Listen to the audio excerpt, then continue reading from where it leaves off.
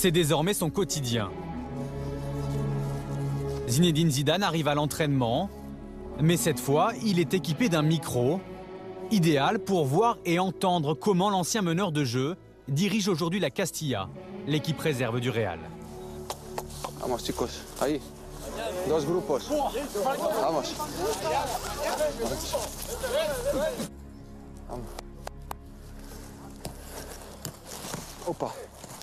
2, 2, 4, 6, 7, 8, 9, 2, 4, 6, 8, 10.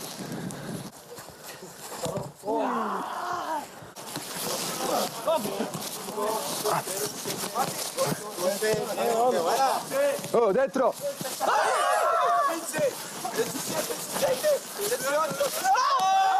Ah, nada, nada. 19.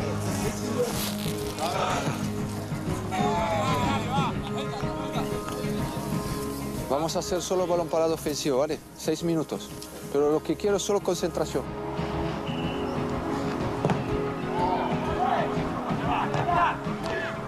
¿Eh? ¿Cuerda? Sí, sí, sí. Así. Acuérdate que habría abrir, abrir los brazos.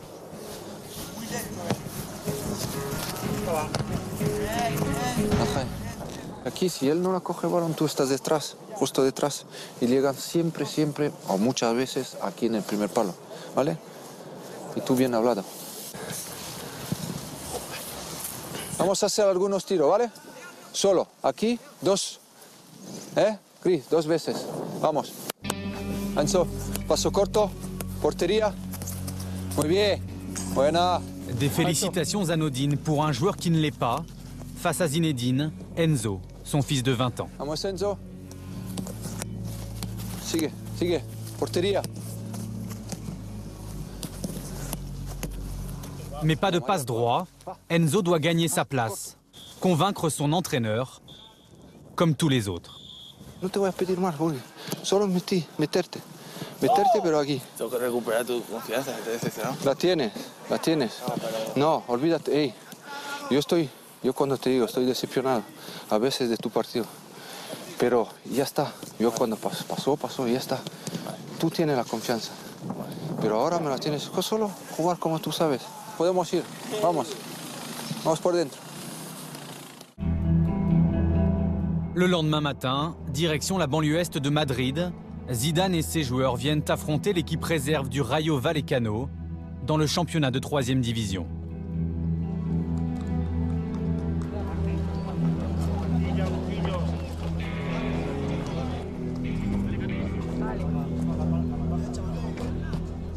Un match pour découvrir le style Zidane.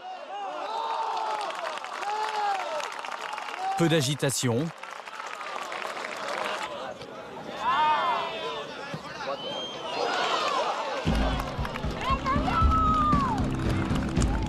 quelques mots et une attention particulière envers l'un de ses joueurs, Martin Odegaard, 16 ans, recruté avec Fast cet hiver par le Real Madrid. Annoncé comme la future star du foot mondial, le Norvégien doit progresser au contact du Français avant de viser l'équipe première.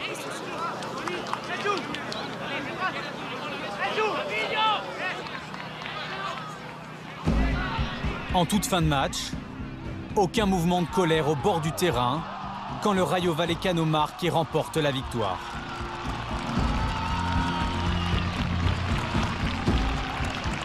Après avoir occupé la tête du championnat, la Castilla vit actuellement des temps plus compliqués qui font aussi partie de l'apprentissage d'un entraîneur. Dans sa nouvelle vie, sa deuxième carrière, Zinedine Zidane avance avec ambition, porté par cette popularité, cette aura que le joueur a su créer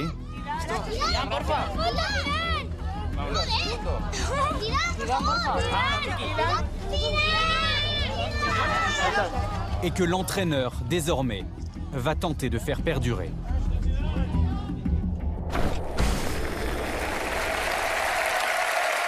Coach Zidane, c'était la semaine dernière, il avait été battu, mais cet après-midi, il a remporté une victoire 5-1 avec son équipe de la Castilla. Il s'est fait attendre, mais il est bien là sur le plateau du CFC. On en est très heureux.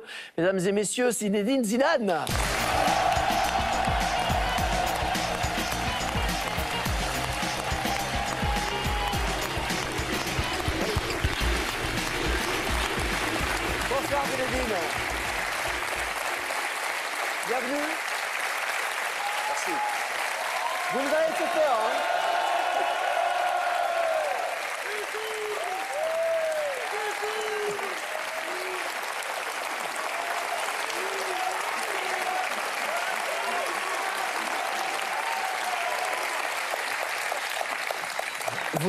Peur, vous m'avez dit, moi aussi. L'avion est tombé en panne, c'est ça Moi le aussi, je me suis fait peur. Qui on a changé d'avion au dernier moment. Bon, il Ça arrive. vous avez poussé l'avion, ça marchait pas, et finalement. euh, J'ai pas poussé l'avion, on a changé d'avion, donc je suis là. et il y avait beaucoup mais- de vent, je crois, c'est ça Il y avait beaucoup de vent Ouais, ouais, aujourd'hui ça a été un peu. Bon. Puis aussi pour venir en moto. Bon, Mais bon. Vous, vous êtes là, merci, là. merci d'être là vraiment, euh, Zinedine. Merci d'avoir accepté le principe de, de cette rencontre avec nos abonnés. Je vais euh, rapidement vous faire, euh, faire connaissance avec les trois premiers abonnés qui vont vous poser des questions. Il y a euh, Sabrina Sanoun, elle a 27 ans, elle habite dans le Rhône et elle est à la recherche d'un emploi. Louis Tellier, lui, il a 16 ans, il est élève de première ES en Seine-et-Marne. Et puis enfin, Franco Vitalino, il est plombier mais aussi sculpteur. Il a 46 ans, il habite l'Essonne. Et Vitalino, c'est son nom d'artiste. Alors c'est Louis qui est, le, qui est le plus jeune euh, autour de cette table qui va vous poser la, la première question. Vas-y Louis. Ah oui, effectivement, comme, le- comme vous l'avez dit, j'ai 16 ans. Autrement dit, je suis né en 1998. Et j'ai tout simplement le sentiment de me trouver face à une légende. Alors je me demande comment nous devons vous appeler au cours de l'émission. Monsieur Zidane, Zinedine ou Zizou? On va faire simple, on va faire Zizou. Très bien, pas pour Zizou. Oui, oui. Alors, une première question euh, de Vitalino qui concerne Marcelo Bielsa que vous avez rencontré il y a, il y a quelques semaines euh, dans les couloirs du stade Vélodrome. Bonjour Zizou. Oui, vous avez rencontré Marcelo. Est-il vraiment fou ou alors c'est un génie? Moi, je pense qu'il y a un peu des deux, en fait, euh, finalement. C'est-à-dire que c'est vrai que sa méthode est un peu. est certainement difficile, mais, euh, mais je pense que ses, ses résultats, en tous les cas, c'est le travail qu'il est en train de faire. Et surtout à Marseille, parce que je pense que c'est un club qui avait besoin de trouver un entraîneur un petit peu, un petit peu différent. Et c'est ce qui se passe. Je pense qu'il est en train de faire du bon travail. On voit par, par, par ses résultats. Donc voilà. euh, La folie, ça reste un peu dans les vestiaires. Il n'y a pas de. comment? La folie, son côté un peu fou, un peu. Oui, mais je pense que les joueurs ont besoin de soi à un moment donné. Je pense que ils ont besoin de se faire bouger de temps en temps, et, euh, et c'est ce qu'il fait, en fait, dans tous les cas. Mais il est très. euh, ce qui est bien, c'est que sa méthode est très claire, finalement. C'est-à-dire qu'il exige beaucoup de ses, joueurs. Euh, moi, j'ai eu la chance d'ass- d'assister à des entraînements, justement, avec notre, formation. Et c'est vrai qu'il passe du temps avec ses joueurs. Il fait, euh, surtout un travail euh, individualisé, c'est-à-dire qu'il fait beaucoup de vidéos avec ses joueurs, que ce soit collectif ou individuel. Et je pense que c'est une, bonne méthode. Question de Sabrina. Oui, alors vous êtes bonjour Zizou. Bonsoir. Vous êtes euh, Marseillais. J'aimerais savoir ce que vous pensez du Paris Saint-Germain et s'il est envisageable pour vous un jour d'en- d'entraîner au sein de ce club. Pour le moment, ils ont un, un entraîneur euh, qui, qui a des résultats, qui est Laurent Blanc, que je connais très bien. Euh, comme vous l'avez dit, je suis Marseillais. Donc, euh, moi, je suis à Madrid pour le moment, je suis bien à Madrid. Il faut jamais dire jamais, mais, euh, mais ça, va être, ça va être certainement compliqué. C'est pas interdit, vous ne l'interdisez Non, je m'interdis rien. Surtout en tant qu'entraîneur. En tant que joueur, c'était peut-être différent. Entraîneur, euh, Louis. c'est les opportunités qui, euh, qui feront le reste. Euh, Christophe Dugarry a vivement critiqué le style de jeu de l'AS Monaco, qu'il juge trop ennuyeux. Êtes-vous aussi de cet avis? Bah, c'est vrai que pour l'avoir vu euh, jouer quelques fois, euh, alors euh, notamment sur les résultats, c'est vrai qu'avec une équipe comme ça, avec des moyens comme, euh, euh, comme peuvent avoir le Monaco, c'est vrai qu'on est, on est en droit de demander plus. Maintenant, ils l'ont fait en Coupe d'Europe, donc euh, ils ont alterné un petit peu les, les deux côtés. En championnat, c'est vrai qu'ils ont fait beaucoup de, de 0-0, notamment à la maison. Donc, je crois qu'il n'a pas eu tort de, de dire ce qu'il pensait et que quelquefois ça peut être ça peut être ennuyeux. Parce qu'on demande en fait à une é- avec une équipe comme ça, en tous les cas, de marquer des buts, de gagner des matchs. Et ils l'ont bien fait en, en Champions League. Je suis lyonnaise et supportrice de l'Olympique lyonnais. J'aimerais tout particulièrement savoir ce que vous pensez des blessures répétées de Gourcuff. Est-ce qu'il n'est pas en train de rater une grande carrière? C'est vrai que c'est compliqué. Je pense que, je pense que quand il a été à un moment donné à Bordeaux avec, euh, avec un entraîneur qui, euh, qui l'a protégé, qui l'a fait confiance, qui lui a, qui apporté beaucoup de, sérénité, il était bien. Et on a vu un grand Gourcuff, quelqu'un qui. euh, un joueur euh, talentueux. Euh, il était même avec l'équipe de France. À Lyon, il alternait le haut et le bas, mais, je pense que c'est vrai que ces, répétitions, en fait, ces blessures à répétition l'ont beaucoup gêné. Mais dernièrement, il a, été, il a été bon aussi avec Lyon. Ce qui est compliqué pour lui, euh, c'est que c'est de se sentir un petit peu, euh, euh, un petit peu noir avec, avec toutes ces blessures qui, qui lui arrivent. Voilà, mais bon, c'est le lot de, chaque joueur. J'espère pour lui qu'à un moment donné, il va y avoir un déclic et il pourra sortir de toutes ces, de toutes ces blessures à répétition. Question de Louis. Pour moi, c'est une évidence. Un jour, vous entraînerez l'équipe de France. Êtes-vous du même avis que moi? Euh, J'ai été joueur de cette équipe. Aujourd'hui, je suis entraîneur. Euh, oui, je veux dire clairement, oui. Bien sûr, ça serait bien de pouvoir un jour entraîner cette équipe de France, mais euh, un jour. Pour le moment, je crois qu'il y a un entraîneur qui est en place et qui fait, un boulot formidable. J'ai cet objectif-là, j'ai cette ambition-là. J'ai le temps en même temps parce que j'ai pas d'objectif euh, euh, à court terme. Je suis, comme je vous l'ai dit, dans un grand club. J'ai le président euh, Florentino Pérez qui me fait confiance, donc je suis bien là-bas. Et pourquoi pas un jour hein, Pourquoi pas un jour pouvoir entraîner cette, cette équipe de France On va continuer à, parler de votre avenir, à parler des Bleus avec nos abonnés. Euh, on va faire une, petite page de pub se retrouve tout de suite pour ce Zizou face aux abonnés. À tout de suite.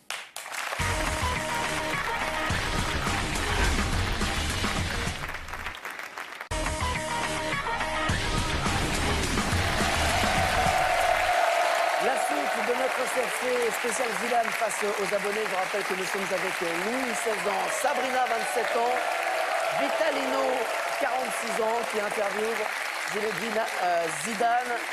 Quel âge Zinedine? Vous- Vous avez quel âge Zinedine? Moi? Oui. 42. 42, parce que je donne les âges de tout le monde, donc il n'y a pas de raison. Voilà, Zinedine, euh, 42 ans. Et la question, la parole est à, est à Sabrina. Alors, Franck Ribéry a pris sa retraite internationale. Vous, vous étiez revenu en 2006, avant la compétition. Euh, Est-ce que vous pensez qu'il doit revenir? La, la décision, en fait, c'est la sienne. C'est-à-dire que j'ai rien à penser de ça. Je pense qu'il a pris sa décision. Ce qui est compliqué, et en tous les cas, je l'ai vécu moi en tant que joueur, c'est que, quand vous arrêtez l'équipe de France, si vous êtes toujours en activité, et surtout dans des clubs comme celui-là, qui est le Bayern de Munich, où vous avez des compétitions de haut niveau, c'est très compliqué parce qu'après, quand les joueurs partent en équipe de France, enfin partent en sélection, vous vous retrouvez tout seul euh, pendant, pendant une semaine, vous avez quatre jours de repos, euh, vous entraînez avec la réserve, enfin bref, c'est un peu, un peu compliqué. Et moi, je ne supportais plus tout ça.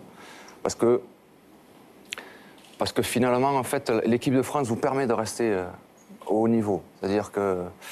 euh, donc c'est pour ça que j'étais revenu. Je pense que Franck, pour Franck, c'est un autre, un autre problème, c'est un problème personnel, mais c'est sa décision à lui en tous les cas. Pas et je peux peux pas la commenter. J'espère pour l'équipe de France peut-être parce que c'est un formidable joueur et que et que l'équipe de France a besoin de ces joueurs-là, mais euh, mais c'est sa décision à lui. Et vous étiez à Munich euh, il y a peu de Oui. temps. Vous l'avez rencontré. Oui. Vous en avez discuté ensemble? Pas forcément de ça. On a discuté beaucoup de choses, notamment de son entraîneur, parce que c'est ce qui m'intéressait le plus. Et, euh, mais pas forcément de ça. Je pense qu'il était, il était un peu déçu de comment ça s'est passé, mais voilà. Après, c'est, on verra. C'est euh, lui qui décidera. Mais On voit les images de votre rencontre euh, avec notamment Guardiola que- qui, qui accueillait euh, des, des- des- des stagiaires. hein, la formation, hein, ça, c'était- la formation. oui. des- Oui, parce qu'on est euh, formation avec euh, Willy Sagnol, euh, Claude Makelele, Bernard Diomède, Mhm. euh, Eric Roy. Donc c'était c'était sympa parce que parce que en fait quand vous allez dans les clubs comme ça, vous regardez exactement comment ça se passe. Ouais. Vous avez la possibilité euh, de voir l'organisation du club, mais, mais aussi de pouvoir parler avec l'entraîneur. Et Pep Guardiola, en fait, a été, euh, était très sympa. On a passé pra- pratiquement deux heures ensemble. Donc, euh, très, très intéressant. Vitalino Paul Pogba est indispensable dans l'équipe de France. On l'a remarqué, oui. Alors, euh, je voulais avoir un petit tuyau. Il ira au Real ou alors au Paris Saint-Germain? Ah, j'ai pas du tout. Je vais poser la question à lui. Rien. Aucun Je indice ne alors sais pas du tout. Pour le moment, il est avec la Juve. Et c'est vrai qu'il a manqué, euh, il a manqué à l'équipe de France euh, mercredi. Mais bon, c'est le talent qu'il a, Il a un potentiel. Promis un grand énorme, acteur. oui. énorme. Et puis il a encore, il a encore de la marge. Ça vous va comme réponse euh, Oui, très bien, oui. Ah ouais, vous trouvez que le tuyau est bon là Bah, je le comprends un petit peu. Hein. En même temps, il veut pas trop trop euh, Non, non, je se sais pas. mouiller, si j'ose dire. Non, non, je sais pas. De toute façon, ces, joueurs, ces joueurs-là, je pense que euh, quand vous êtes le Real Madrid ou quand vous êtes un grand club, euh, forcément, vous avez un intérêt à... Parce que c'est un jeune joueur, talentueux, qui peut, euh, qui peut justement encore, encore progresser. Donc, euh, mais bon, Vous le connaissez, vous en avez peut-être un peu parlé avec lui, ou alors vous avez une idée de ce que lui voudrait faire, peut-être, non? Et non, je ne le connais, je le connais pas assez pour, pour ça. Merci. Sabrina? Euh, Nabil Fekir a choisi euh, la France plutôt que l'Algérie. J'aimerais savoir dans un premier temps si vous comprenez son choix. Et d'ailleurs, je voulais revenir sur les sifflets euh, qu'il a pu essuyer lors de son entrée et pendant le jeu euh, lors de France-Brésil euh, ce jeudi. Mais encore une fois, pour, pour, pour Nabil Fekir, en fait, le, truc, c'est sa décision personnelle. Je pense qu'on va, on va tous avoir un avis, on va tous penser quelque chose de, ça, que ce soit en Algérie ou que ce soit en France. Après, c'est sa décision personnelle, c'est-à-dire que c'est lui qui a pris la décision. Aujourd'hui, est en équipe de France. Voilà. Il a, il a répondu, en fait, euh, aux choses. Et puis, et puis après, pour ce qui est des sifflets, euh, quand il commencera à marquer des buts, ce sera plein de soucis, ça. Question de Louis. Euh, Samir Nasri a été écarté de l'équipe de France pour des raisons comportementales. Pensez-vous qu'un joueur à lui seul puisse déstabiliser un collectif entier? Euh, oui. S'il n'est pas dans la bonne dynamique, oui. Après, je ne sais pas c'est ce qui s'est passé avec, euh, avec, euh, avec Nasri. Euh, forcément que quand vous êtes dans un collectif, vous- de toute façon, vous êtes obligé de... Vous avez des règles. Il y a des règles à respecter. Et, euh, et c'est vrai que quand vous êtes entraîneur, s'il y en a un qui ne respecte pas ça, ça devient compliqué. Mais je ne sais pas exactement ce qui s'est passé avec, euh, avec Nasri. Je suis très loin, moi, je suis en Espagne. hein. Et c'est pas de la langue de bois, tout ça. C'est une réalité. Mais sur votre opinion d'entraîneur, euh, le fait que le, le comportement, ça compte aussi, Oui. ça vous êtes d'accord avec cette idée? Énormément. Je suis d'accord. Et puis, comme je vous ai dit, les joueurs, en fait, ont, ont des devoirs, mais aussi ont, ont des, ont des choses à. à- Enfin, il y a- y, des règles à avoir dans une équipe. Et, et c'est et c'est sûr que quand il y en a un qui, qui sort des, des consignes, ça devient, ça devient compliqué. C'est pour ça que l'entraîneur, il a un rôle impor- important. C'est le responsable. C'est à lui de, à dicter ça. Et quand il y en a un qui sort de, de ça, il faut taper dessus. Question de Vitalino. Zizou, euh, j'aimerais savoir euh, quelles sont vos relations avec Varane euh, et Benzema? Mais bien, parce qu'on se voit, se voit régulièrement. Je pense que, on a le, terrain juste à côté euh, où on s'entraîne, donc je les vois régulièrement. La relation est bonne puisque moi, à Varane, j'ai eu la, eu la possibilité de, justement de le faire venir. À l'époque, c'était entraîneur euh, Mourinho qui était, euh, qui était entraîneur et, euh, et quand je lui avais soumis l'idée de, recruter Varane, il avait, il avait mis justement son feu vert et, et c'est un formidable joueur. Voilà, c'est ce qui est compliqué pour lui, et c'est ce que je lui disais, c'est que c'est qu'il a deux joueurs euh, incroyables devant lui, qui sont Ramos et Pépé. Mais comme il est jeune et, euh, et qu'il a beaucoup d'intelligence, euh, il prend son mal en patience. Il joue de temps en temps, il pourrait jouer tout le temps, mais comme je vous ai dit, il a deux joueurs incroyables devant lui. Et puis pour ce qui est de Benzema, ben voilà. Il y, a- deux joueurs qui sont sur notre planète, qui sont, qui sont Cristiano et Messi. Et puis, euh, et puis il y a d'autres joueurs qui se rapprochent de cette planète-là, c'est c'est Karim Benzema, qui, fait, euh, qui fait une saison incroyable et qui est pas encore, euh, qui peut encore progresser, qui peut encore progresser, à la fois pour Madrid et pour l'équipe de France. aussi. Encore du potentiel alors Énorme. Gros- Grosse marge de progression. Énorme, ouais. Parce qu'il est jeune, parce qu'il a envie, parce qu'il a du talent et parce qu'il est à l'écoute. Et moi, j'aime ces joueurs-là parce que parce que c'est un joueur collectif, c'est-à-dire qu'il joue pour l'équipe. Vous avez des joueurs individuels, bon, il en faut hein, aussi. hein. Mais, euh, mais quand vous avez joué, quand vous avez un joueur comme Karim qui, euh, qui a le souci toujours de faire jouer les autres, et en plus qui marque des buts, euh, donc voilà. Je vais faire du coaching, euh, Zinedine. Je vais faire trois changements, euh, euh, à- juste dans, trois nouveaux abonnés qui vont, qui vont Ouais. nous rejoindre pour vous poser des, des questions. Euh, juste avant ça, Vitalino, vous voulez faire un petit cadeau au nom de tous les abonnés euh, Oui. à Zinedine? Oui, euh, bah, au nom de tous les abonnés, puis aussi l'équipe de Canal qui était super sympa, euh, simplement euh, bah, vous dire que euh, oui, j'ai beaucoup de respect. Euh, vous avez apporté pour nous euh, quelque chose d'énorme, d'énorme. Vous avez mené l'équipe euh, à un niveau qu'elle n'avait jamais connu. Et puis en plus, vous êtes resté en haut et vous êtes toujours resté. C'est quelque chose que je considère de formidable, avec de l'énergie, beaucoup, beaucoup de talent, de la ténacité qu'on sentait chez vous. Et euh, je dirais le savoir-faire un peu à la Zidane. Donc, je suis sculpteur en bronze. J'ai fait une sculpture qui est là, qui représente euh, toute cette énergie, ce côté un petit peu dur.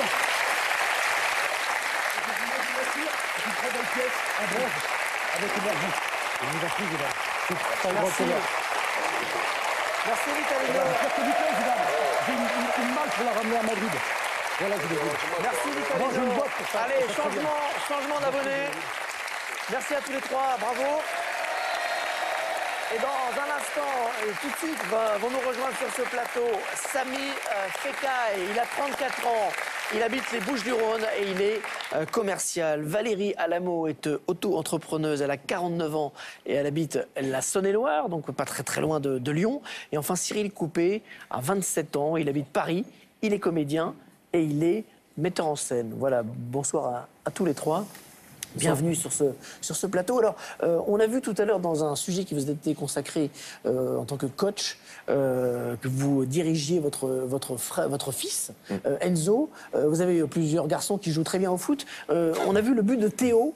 Vous l'avez vu ce but avec les moins de 10 ans du Real Madrid. On va quand même le montrer pour ceux qui nous regardent. Parce que moins, de- c'est et moins de 13. moins de 13. Il a quel âge, Théo 13. 13, voilà, donc moins 13. Bon, bah, c'est- Et, voilà, bon, vous, le papa, il dit quoi là quand il voit ça? Bah, il lui dit bravo. Ouais. C'est sobre, euh, Et la première question, elle va être de, de Valérie. Bonjour Zinedine. Bonsoir. Donc on a vu tout à l'heure que vous avez- votre équipe euh, a brillamment remporté euh, son match du jour euh, 5 à 1 et Enzo, votre fils, est rentré à la 85e minute. Quel sentiment éprouve-t-on en tant que papa euh, d'entraîner son fiston? Un peu de fierté, un peu de fierté. Je suis, je suis content qu'il soit justement dans, dans mon groupe. J'aurais aimé le faire jouer euh, plus longtemps cet après-midi. Et pourquoi vous, Vous avez parlé de la fait 85e minute, ça fait, ça fait pas beaucoup. Il y en a qui vont me taper dessus. Euh, mais, euh, mais en même temps, je dirais que c'est c'est, c'est compliqué, pas facile. Parce que je suis dur avec lui. Euh, je lui laisse rien passer. Voilà, c'est- je pense que ça lui servira aussi. J'ai toujours été dur avec moi-même. Euh, je suis dur avec mes enfants et, euh, et voilà, c'est compliqué. Je pourrais le faire jouer plus souvent, je pourrais le faire jouer même euh, parce qu'il a les qualités pour, pour le faire. Il, il est peut-être parfois même à- au niveau des autres. Mais comme je suis dur avec lui, eh ben, je, je veux, je veux plus d'exigence de, sa- de sa part et, et voilà. Donc, donc ça vous, doit pas être facile pour lui. qu'est-ce que vous retrouvez de vous en lui? Non, mais c'est vrai que dans ses attitudes, on se ressemble, on se ressemble pas mal. Je pense qu'il est un peu, euh, il est moins fort, ça c'est sûr. mais euh, non, mais c'est. euh, Ce qu'il y a, c'est qu'il est à l'écoute. Ce que j'aime bien chez lui, c'est que voilà, il, il apprend vite, il apprend vite, il est à l'écoute, il est, voilà, il a les qualités pour faire quelque chose. Maintenant, ce sera pas facile pour lui. Ça ne l'est pas aujourd'hui avec moi, mais ça ne le sera jamais. Et, euh, et il le sait, ça. On parle beaucoup, pour, on parle beaucoup ensemble, justement. Euh, Et vos quatre garçons ont grandi en Espagne. Ouais. Si un jour euh, ils ont les capacités de jouer en équipe nationale et qu'ils choisissent la Roja, quel sera le sentiment de Zinedine Zidane? J'ai un deuxième garçon qui est, qui est gardien de but et qui, lui, a choisi l'équipe de France. Et c'est lui qui a choisi, c'est-à-dire que moi, je ne choisirai jamais pour mes enfants. C'est eux qui choisissent et Lucas, justement, a choisi l'équipe de France. Il a notamment, la semaine dernière, en fait, joué avec, euh, les moins de 17. Il s'est qualifié pour, le championnat d'Europe.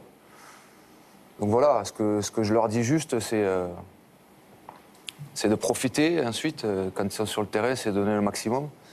C'est d'être concentré dans ce qu'il faut pour, progresser et puis être à l'écoute de, des gens qui les, qui les entourent, c'est-à-dire leur entraîneur, toutes les personnes qui leur apportent quelque chose. Après, c'est leur décision à eux. Pour le moment, Lucas a choisi l'équipe de France. Enzo est arrivé aussi enfin, à, à une sélection aussi avec, euh, avec l'équipe de France. Mais, euh, mais moi, je suis, euh, je suis surtout euh, le papa, c'est pas l'entraîneur là qui parle. Question de Samy. Bonsoir Zinedine. Bonsoir. Euh, pour vous, qu'est-ce qui est le plus dur dans le métier d'entraîneur Euh, On prend un cas comme Zlatan, euh, comment vous le gérerez Ben, vous l'avez dit, je pense que c'est euh, peut-être euh, gérer euh, des égaux. C'est gérer un groupe. Je pense que c'est la chose la plus difficile parce qu'après, euh, vous savez, le terrain, je le, connais bien. Je l'ai connu pendant 20 ans en tant que joueur. La tactique, chacun euh, est libre un peu de faire, ce qu'il veut, de mettre une équipe en place. Je pense que ce qui est la, difficulté aujourd'hui, euh, c'est de, gérer un groupe. Euh, c'est comme dans une entreprise. Voilà, il faut être parfois dur. Il faut alterner les deux. Et, euh, et parfois aussi euh, laisser aussi euh, les joueurs un petit peu libres de, de- de- de créer aussi sur le terrain. Mais, euh, mais c'est ça, ce qui est difficile, c'est c'est de gérer, de gérer un groupe. Cyril? Oui, justement, vous venez de dire euh, que concernant la tactique, chacun était libre de mettre ce qu'il voulait en place. Justement, vous concernant en tant que coach, vous, vous avez une philosophie de jeu plutôt portée sur l'offensive, le spectaculaire, ou non, c'est le résultat qui compte avant tout, peu importe la manière? Non, peu importe la manière, non. En fait, euh, moi, il y a deux choses. En fait, vous avez, c'est quand vous avez le ballon ou vous n'avez pas le ballon. Quand vous n'avez pas le ballon, en fait, je veux que mon équipe défende. Voilà. Mais tout le monde, parce que parce que vous pouvez pas aujourd'hui euh, vous permettre dans une équipe euh, qu'un joueur ne défende pas. Voilà. Moi, ce que je veux de mon équipe, de mes joueurs, c'est que quand ils n'ont pas le ballon, qu'ils défendent. Donc, il y a une tactique qui est mise en place. Chaque joueur sait parfaitement ce qu'il doit faire. Ensuite, quand on a le ballon, là, là je, je suis, euh, je suis pour justement cette création. C'est-à-dire, euh, je veux qu'un joueur soit, soit libre de pouvoir faire ce qu'il veut sur le terrain. Voilà. Avec euh, certaines. Un cadre. Enfin, un cadre de jeu, mais avec aussi une certaine liberté pour, euh, pour créer. Parce que parce que c'est quand même. euh, On est là pour se faire plaisir. Autre, autre question de Cyril sur les, les entraîneurs hein, qui, ont, euh, euh, je- qui vous ont euh, fréquenté. Oui, vous avez, fréquenté euh, de grands entraîneurs. Euh, si vous deviez nous dire, je sais pas, une chose euh, que vous avez appris au contact de Mourinho, par exemple?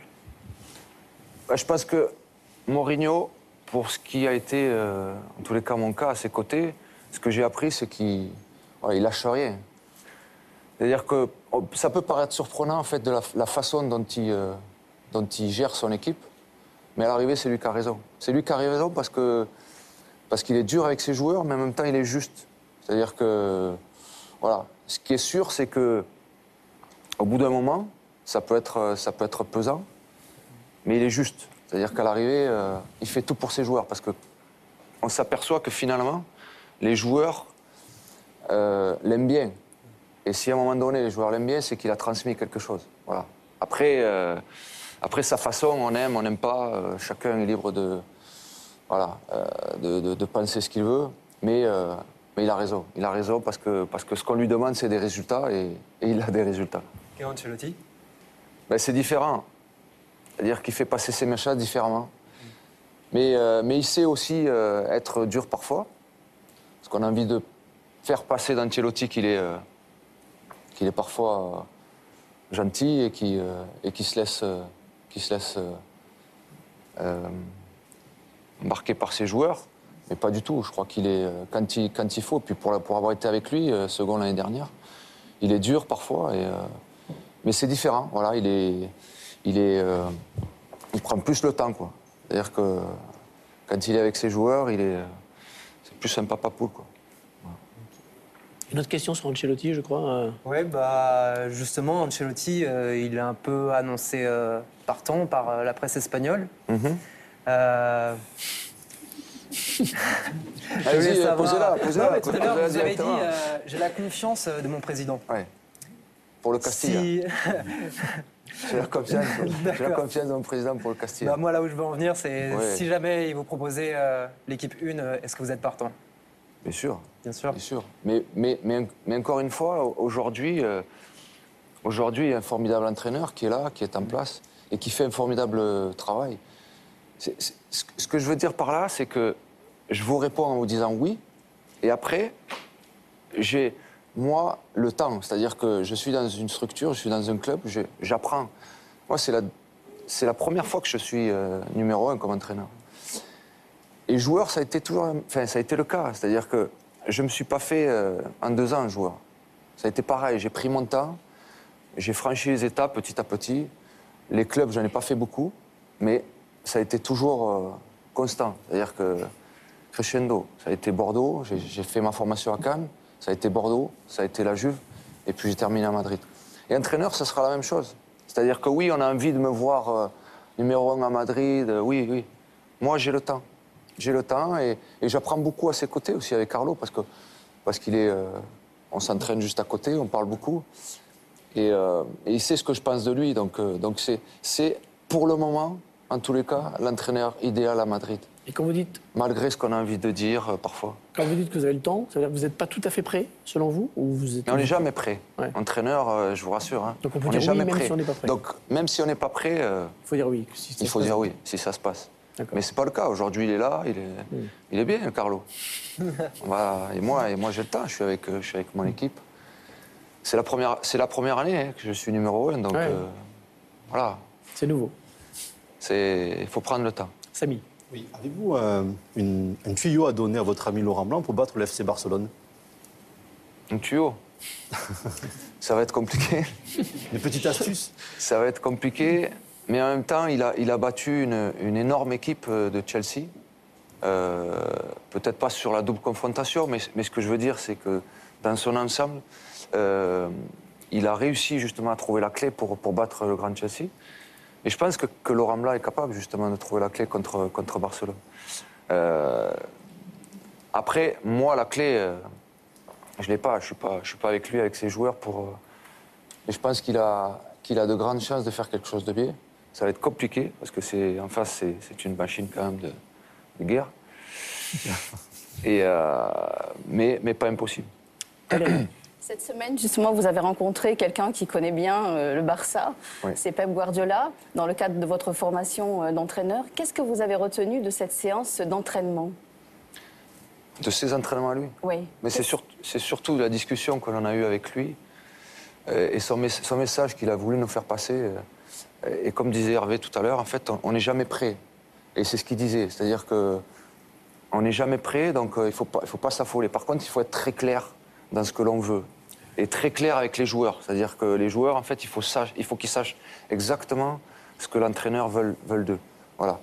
Et c'est, il a répété beaucoup ça. Et puis après, ça a été, euh, ça a été sur, sur la tactique, sur, sur ce que, comment, comment à l'approche en fait, euh, des matchs, comment il préparait son, son équipe, euh, voilà, toutes ces choses-là. Mais c'est surtout en fait, être clair dans le message à faire passer aux joueurs. Valérie, vous aviez un petit papier que vous vouliez montrer à Oui. Zinedine. Alors, le 20 avril, je vous retrouve sur le terrain de Saint-Étienne Oui. pour le match euh, contre la fin dans le monde, La pour la charité, oui. avec euh, Ronaldo.